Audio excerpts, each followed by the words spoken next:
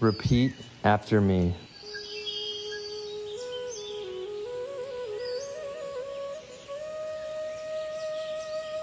I love my phone. I love my phone.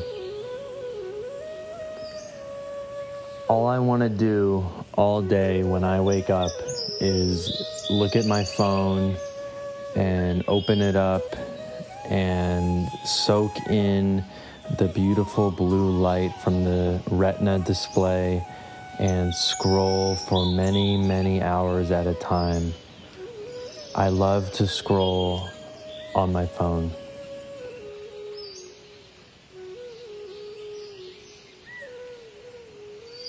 Maybe someone texted me.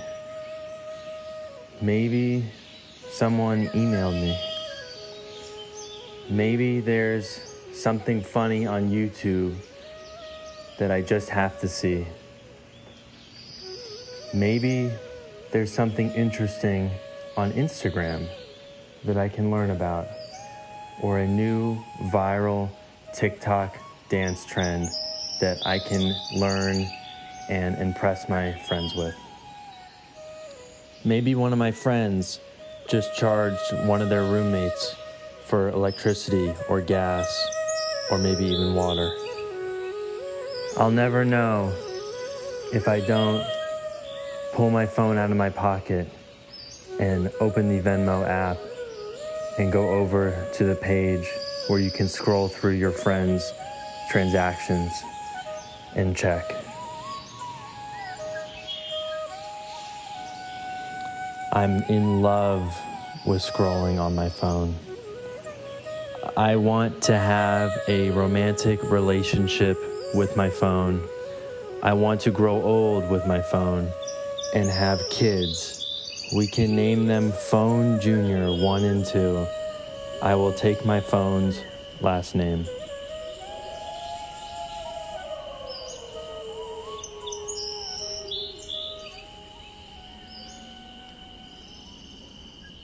If I didn't have my phone, I don't know what I would do. All I know is it wouldn't be good for me, for anyone immediately around me, or for society as a whole.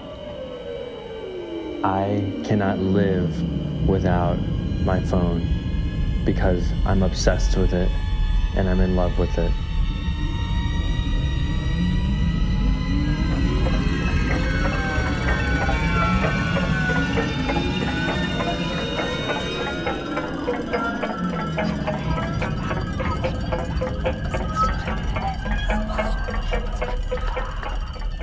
If my phone wanted me to commit a dastardly act, I would definitely 100% listen to whatever my phone said because I trust my phone more than I trust myself.